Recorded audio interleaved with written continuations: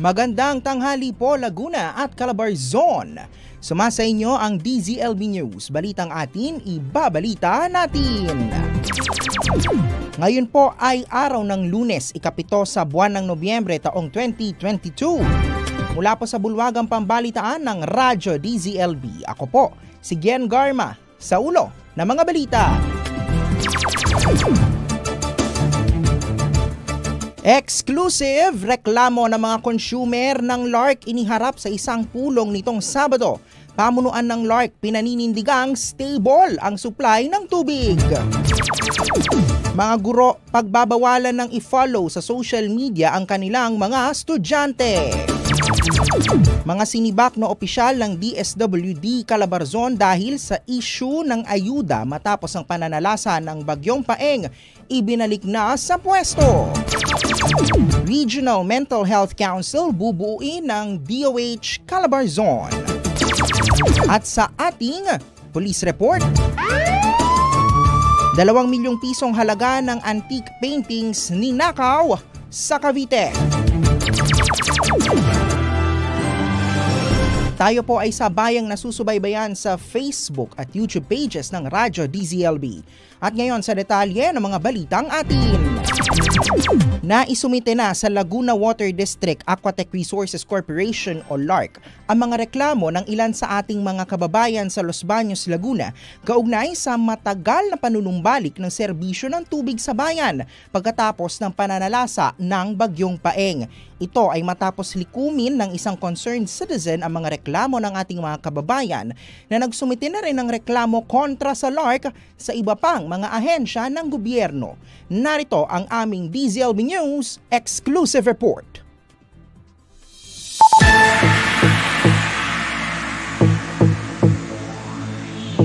Nagharap nitong Sabado ng umaga ang pamunuan ng Laguna Water District Aquatech Resources Corporation o LARC at isang concerned citizen na nangalap ng mga reklamo mula sa iba't ibang concessionaires ng water provider. Isinumite ni Likha Cuevas ang kopya ng formal na reklamo na kanya ring isinumite sa National Water Resources Board o NWRB at Local Water Utilities Administration o LUWA.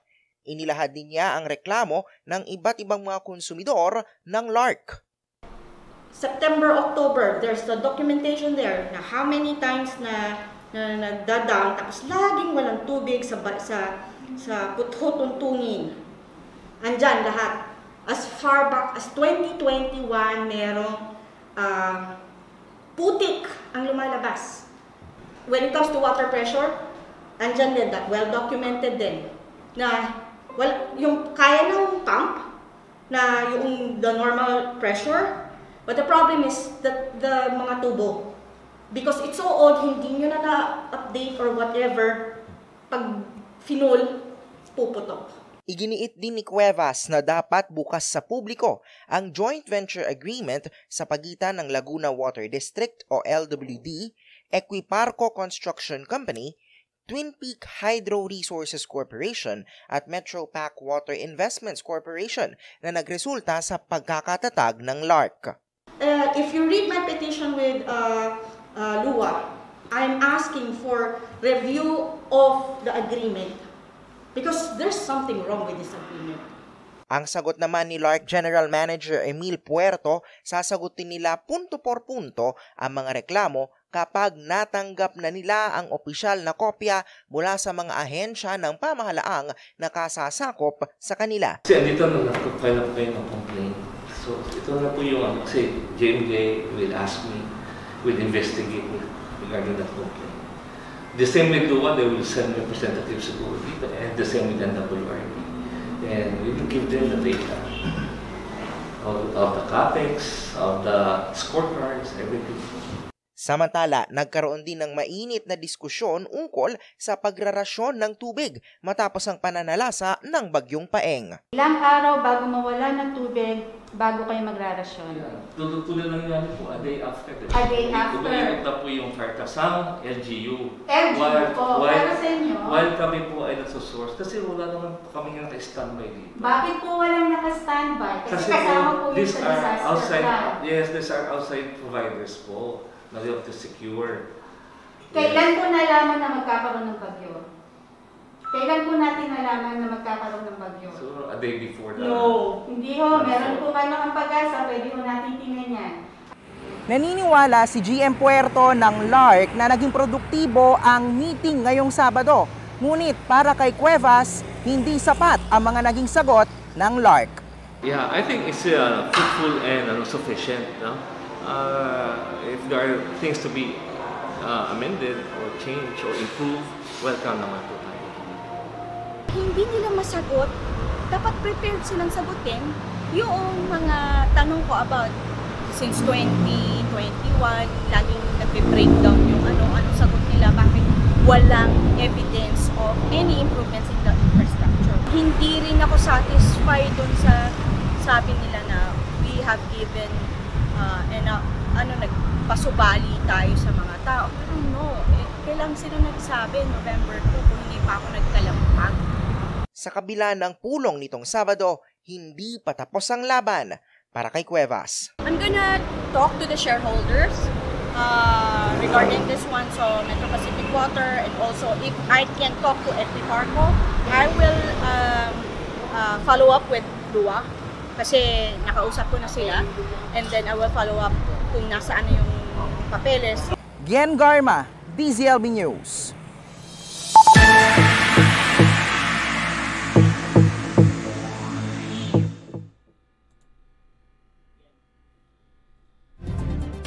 At tulad nga po ng nabanggit sa aming eksklusibong ulat, nilikom nilikha Cuevas ang ilan sa mga reklamo ng ating mga kababayan sa bayan ng Los Baños, Laguna ukol sa serbisyo ng LARC. Nakakuha ang DZLB News ng kopya ng formal na reklamong isinumite ni Cuevas sa Laguna Water District o LWD, National Water Resources Board o NWRB at Local Water Utilities Administration o LUA. Narito ang ilan sa mga importanteng laman ng naturang reklamo. Ayon sa liham ni Cuevas, hindi ganap na ginagampanan ng LARC ang kanilang tungkulin bilang water service provider magmula noong taong 2016. Kapansin-pansin umano ang madalas na water interruptions nitong Setyembre at Oktubre 2022. Iginiit din sa liham na lumala ang lahat matapos ang bagyong paeng. Halos lima hanggang anim na araw na nawalan ng tubig sa bayan ng Los Baños. Nakatanggap po si Cuevas ng 24 na emails na nagdedetalye ng kanilang mga reklamo laban sa LARC. Narito po ang buod ng mga reklamong natanggap ni Cuevas na siya naman pong ginamit bilang ah, attachments sa formal na complaint. Marami ang nagigiit na, na magmula raw ng pinamahalaan ng LARC ang supply ng tubig sa Los Baños ay humina ang supply ng tubig. Ayon sa mga reklamong natanggap ni Cuevas, saka lamang nagkakaroon ng tubig sa ilang mga lugar tuwing gabi o madaling araw at kuminsan ay mahina din ang tubig hanggang sa walang supply ng tubig tuwing weekend. Ayon din sa mga nagpadala ng reklamo ay wala raw nakarating sa kanila na rasyon ng tubig mula sa LARC kapag nawawala ng serbisyo ng tubig. Ilan din ang nagreklamo sa late na pasabi ng mga water service interruptions. May ilan din na nagpadala ng screenshots ng kanilang mga mensahe sa Facebook page ng LARC. Hindi po muna namin ito isinama sa aming ulat para na rin po sa data privacy. Ngunit giit po ng isang nagpadala ng screenshots ng mga mensahe nila sa LARC, paulit-ulit lang din naman ang sagot na binibigay sa kanila ng water concessionaire. Samantala, isa pong residente naman ang nagreklamo na marumi ang supply na tubig na kanilang natatanggap mula sa LARC. Anang nagreklamo, nagkakaroon ng manilaw-nilaw at slimy naman siya sa kanilang mga timba at lababo. Isang residente po naman ang nakapaglikom ng labing walong anunsyo ng emergency water service interruptions ng LARC ngayong taon. Anang residente, ang dami ng inaanunsyong water service interruptions ito po ay yung announced pa lamang, hindi pa po kasama rito ang mga hindi naaanunsyong mga pagkawala ng serbisyo ng tubig ay patunay raw na hindi sapat ang serbisyong binibigay ng LARC sa mga konsumidor. Tulad po ng ating nabanggit sa ating unang ulat ayon kay LARC General Manager Emil Puerto, sasagutin nila punto por punto ang mga reklamo kapag natanggap na nilang opisyal na kopya mula sa mga ahensya ng pamahalaang nakasasakop sa kanila. Sa kaugnay pa rin pong ulat nanindigan si Laguna Water District Aquatech Resources Corporation o LARC General Manager Emil Puerto na stable ang supply ng tubig na binibigay ng LARC sa mga sakop nitong bayan sa lalawigan ng Laguna. Sa eksklusibong panayam ng DZLB News, sinabi ni Puerto na sa ilalim ng normal na kondisyon, nasa 98% ang water availability habang nasa 96% naman ang water pressure na naibibigay ng LARC sa mga consumer. Sakop ng LARC ang mga bayan ng Los Baños, Bae, Kalawan at Victoria sa Laguna. From after the joint venture, 2016, you know, uh, LARC as the contractor operator and agent of LWD, kasi it's still LWD that owns this, we gradually, in tandem with LWD, we gradually improve the system. No? Now, in terms of water availability, we are 98%. In terms of uh, pressure, we are 96%. Meaning, uh, availability is 24 presence of water. And the, the 96% is pressure equal or greater than 10 psi or 7 meters equivalent. So pinaninindigan niyo po GM na ano naman, stable naman po ang, su- ang supply ng tubig na sinusupply po ng LARC sa ating pong mga For as long, consumers. no? Yeah, of course. For as long as uh, for as long as the normal operation conditions are there, I mean, all pump stations are running. Yeah, we are 98% in terms of availability, and 96% in terms of pressure. Yan po ang tinig ng General Manager ng LARC na si Ginoong Emil Puerto. Sa naging pagpupulong ng pamunuan ng LARC at ng concerned citizen na si Likha Cueva, sinabi rin ni Puerto na naisaayos na ang lahat ng water pump stations na nasira sa kasagsagan ng Bagyong Paeng. Samantala, ayon po sa update ng LARC sa kanilang Facebook page nitong weekend, tapos na po ang pagsasaayos sa Bitin Narvaez Station sa bayan po yan ng Bae. 12 minutos na po makalipas ang alas 12 ng tanghali. Samantala, sa iba pa mga balitang atin, simula ngayong araw ay balik na sa pwesto abang sinibak na opisyal ng Department of Social Welfare and Development Calabarzon matapos ireklamo dahil sa issue ng ayuda matapos ang pananalasa ng bagyong paeng sa bansa. Iniutos na ni DSWD Secretary Erwin Tulfo ang pagbabalik sa pwesto ni na Region 4A Director Barry Chua at Assistant Director Myla Gatchalian matapos mapatunayan sa kanilang internal investigation na walang naging pagkukulang ang mga nasabing opisyal. Gayun din ang kanilang mga tauhan sa naging pamamahagi ng relief aid sa bayan ng Noveleta, Cavite. Matatandaan pong nirecall ang mga nasabing opisyal matapos silang ireklamo ni Noveleta Mayor Dino Carlos Chua dahil sa tila pagpapahirap umano sa mga biktima ng bagyo dahil na rin sa dami ng hinihinging dokumento bago makatanggap ng tulong sa ahensya.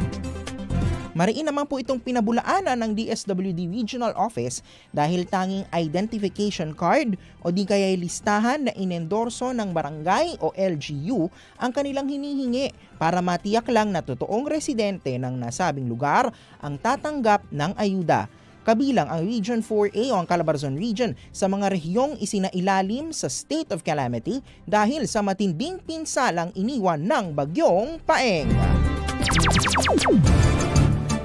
Susunod sa DZLB News. Regional Mental Health Council bubuin ng DOH Calabarzon. Mga guro, pagbabawalan ng i-follow sa social media ang kanilang mga estudyante. At dalawang milyong pisong halaga ng antique paintings ninakaw sa Cavite. Marami pang balitang atin, ibabalita natin sa pagbabalik ng DZLB News.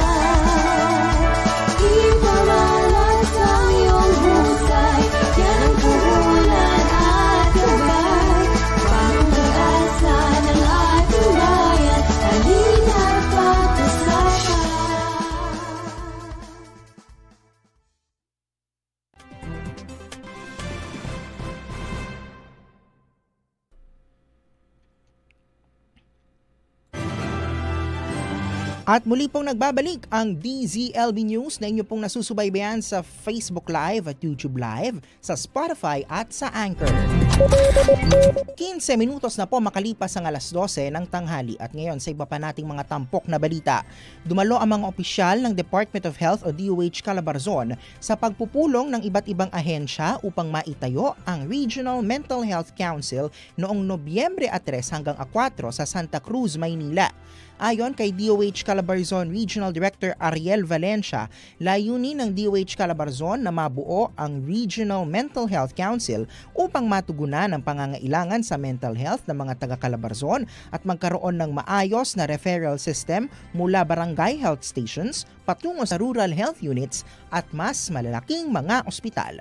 Dagdag pa ni Director Valencia mahalaga ang pagpupulong ng iba't ibang ahensya sapagkat kailangan ng kanilang expertise upang mas maging maayos ang implementasyon ng Mental Health Act sa Calabarzon. Sa tulong ng iba't ibang ahensya, umaasang DOH Calabarzon na magiging mabilis at epektibo ang mga serbisyo patungkol sa mental health unit ng mga taga Region 4A. Samantala, lumabas na po ang resulta ng National Qualifying Examination for School Heads o NQESH at masayang ibinalita ng Department of Education Calabarzon na 638 aspiring principals mula sa rehiyon ang nakapasa sa pagsusulit. Ilan din sa mga aspiring principals mula Calabarzon ang nagkamit ng mataas na puntos sa NQESH. Isa na po rito si Ginoong Christian Mesper Hernandez mula sa Imus City, Cavite. Siya po ay nagkamit ng pangalawang pinakamataas na puntos sa buong Pilipinas. Mas kilala sa tawag na Principal's Test, ginanap po ang NQESH noong ikatatlumput isa ng Hulyo.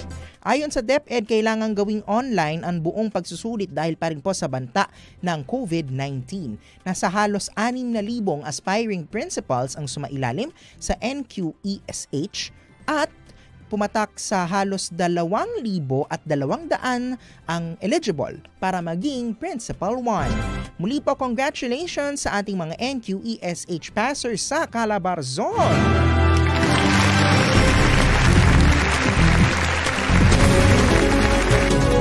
Samantala, tanggap po tayo ng pagulat mula sa labas ng himpilan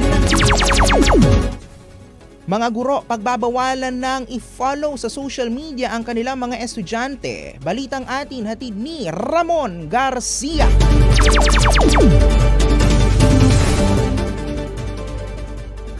Yan ipinagbabawal na ng Department of Education o DepEd na magkaroon ng interaksyon o relasyon ang mga guro at estudyante sa labas ng mga gawaing pampaaralan. Sa bisa ng DepEd Order No. 49 Series of 2022 na inisyu ni Vice President and Education Secretary Sara Duterte nitong nakaraang biyernes, mahigpit na pinapaiwas ang mga empleyado ng kagawaran na makisali sa anumang relasyon na maaaring makaapekto sa tungkulin ng kanilang trabaho. Kaugnay nito, mariinding ipinagbabawal na sundan o e-follow ng mga guro ang mga estudyante sa anumang klase ng social media platform maliban kung magkamag-anak. Ayon sa pahayag ni Duterte, profesionalismo ang layuning paigtingin ng bagong direktibo at nararapat lamang umano na magkaroon ng boundary ang mga guro at estudyante. Kabilang rin sa utos ng bagong direktibo na umiwas ang mga guro sa pag-post ng mga online attacks sa kapwa empleyado at sa halip ay idaan ito sa legal at human resource mediation procedure. Ramon Garcia, DZLB News. Maraming salamat Ramon sa iyong ulat. Tuloy-tuloy pa rin po ang sigwada ng ating mga live o mga reports no, mula sa ating mga correspondents mula sa labas ng himpilan. Mga iligal na kahoy na sabat sa Santa Maria, Laguna. Balitang atin hatid ni Nicole Anakay.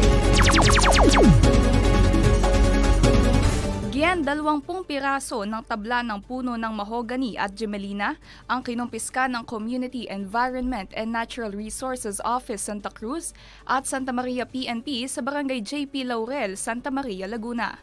Ayon kay Senro Santa Cruz Officer in Charge Venerando Garcia, ang 267 board feet na kahoy ay kinonsiderang illegal dahil walang hawak na tree cutting permit, transport permit o resibo mula sa plantasyon ang may-ari. Maaari pa naman daw mabawi ng may-ari ang 15,000 pesos na halagang tabla kung maipapakita niya ng kumpleto ang mga nabanggit na dokumento. Maaaring masampahan ng kasong paglabag sa Forestry Reform Code of the Philippines ang may-ari ng kahoy.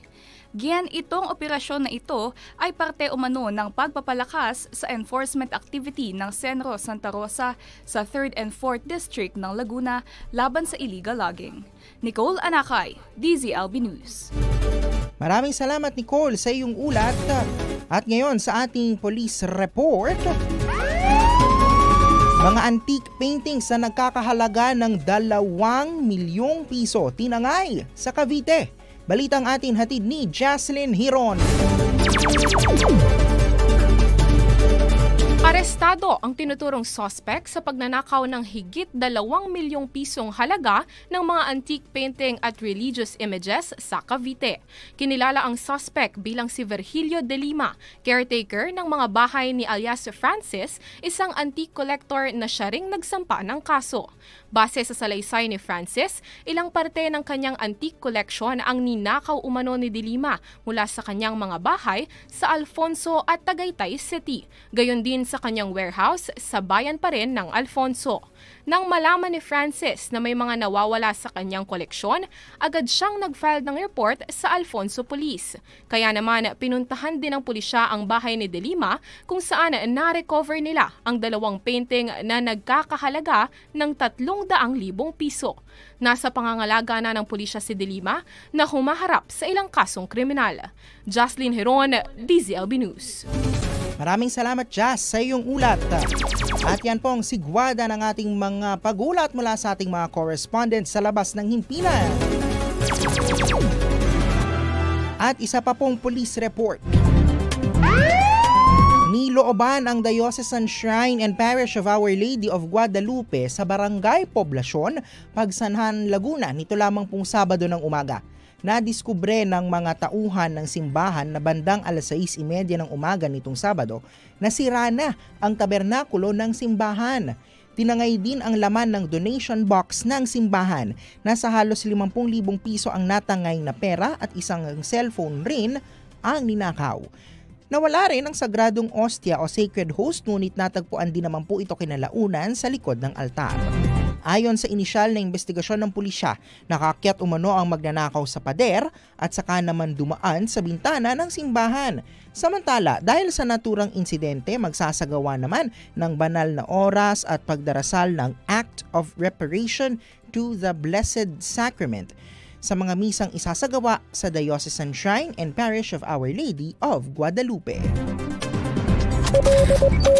Ang oras po sa buong kapuluan ay 23 minuto makalipas ang alas 12 ng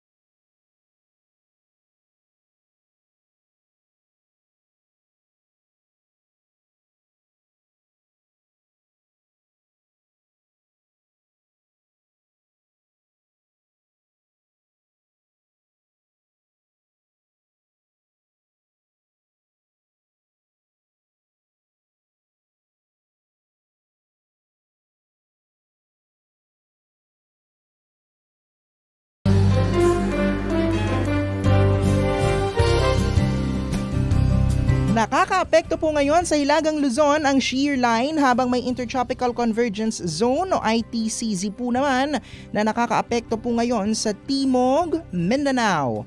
Ang Batanes, Cagayan, Isabela, Aurora at Quezon ay makakaranas ng maulap na kalangitan na mayroong pong mga kalat-kalat na pag-ulan at pagkidlat, pagkulog dahil po yan sa shear line.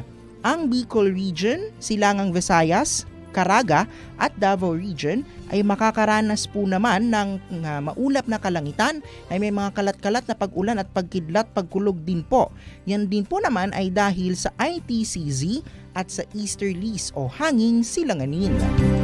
Ang Metro Manila at nalalabing bahagi ng bansa kabilang ang Calabarzon Region ay makakaranas ng bahagyang maulap hanggang sa maulap na papawirin na may mga pulupulong pag-ulan dahil naman sa localized thunderstorms. Sumikat po si Haring Araw kaninang alas 5.52 ng hapon o ng umaga. Bakit naman hapon bigla yung ano, sunrise? Ano? Sumikat po si Haring Araw kaninang alas 5.52 ng umaga at lulubog po ito maya-mayang alas 5.57 ng gabi. Napapaaga na po ang uh, paglubog ng araw Napapansin nyo siguro ano, uh, mabilis dumilim. Anyway, mga kaibigan, bago lang po natin makalimutan, eh, meron din tayong babatiin ng happy birthday. Aba, nawala ang ating soundbed ng happy birthday. Yan. What could fit more perfectly than to have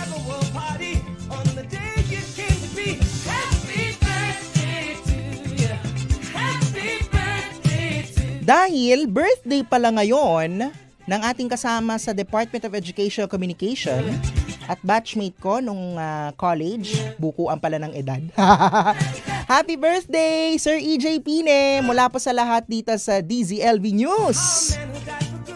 Kailangan ka magpapa-lunch sa EJ. De joke. Samantala, sa ating Christmas countdown, eto na nga!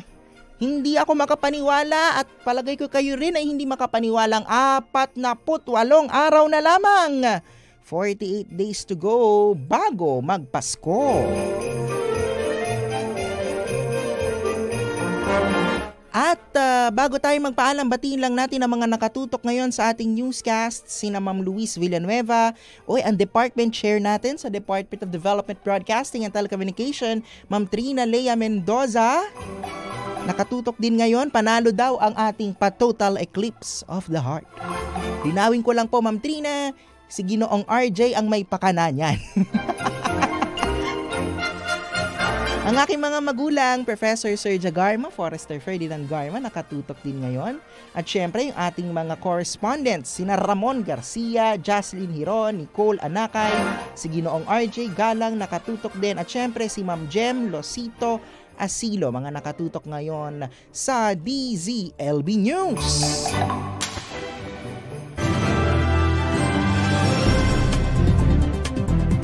At yan po ang kalipunan ng mga balitang atin ibinalita natin dito sa DZLB News.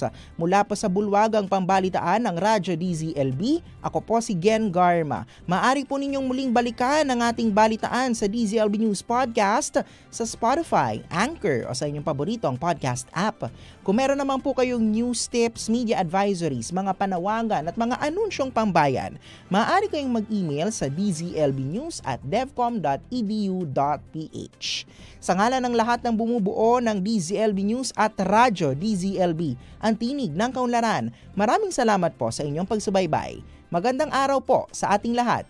Pilipinas, Calabarzon, Padayon.